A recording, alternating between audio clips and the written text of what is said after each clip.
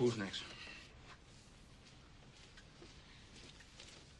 So, um, Dr. Davenport, sent him to the gym? Hit the punching bags? Ain't that what you prescribing? So why are you here? You feeling under pressure? You feel like uh, a rock is on top of you? Come on now, speak the hell up. You better make it snappy. You only got three sessions coming. What are y'all looking at? What you looking at? You feeling sick? You need a healing? You need a healing? Do you need a healing? Huh? Do you need a healing? Some of y'all sick ass sailors need to come back after working hours. See, that's when a good Dr. Davenport, he'll be laying his hands on you. Or he may have a book in there that may have the answers to all your problems and all your questions. Ain't that right? Ain't that right?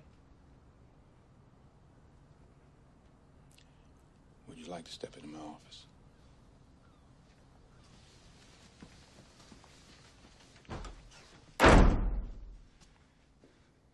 Are you finished?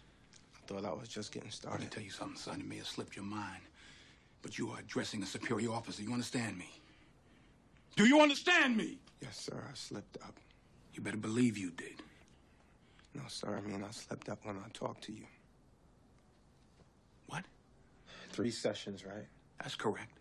Can't be flouting regulations. That's correct. Well, what do I do, Commander? Because I don't know what to do. I don't know what to do.